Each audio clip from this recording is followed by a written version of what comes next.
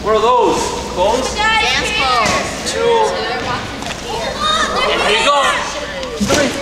Four boxes. I think there's five. There's five. But I think one won't come until tomorrow. Give me my chair and give me my. Where's my scissors? Yeah, you usually use the key. My shoulder hurts. yeah. Angela.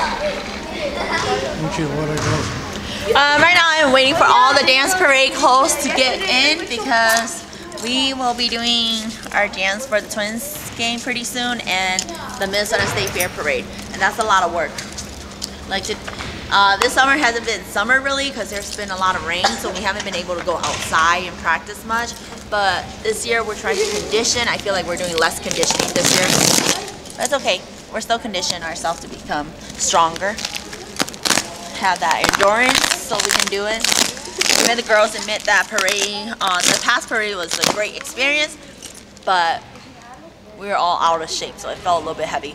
Um, so hopefully before school start again, we can all get in shape and do it for hours. So this outfit was like cute, but you will have to wait and see how the outfit looks like. I will not show you.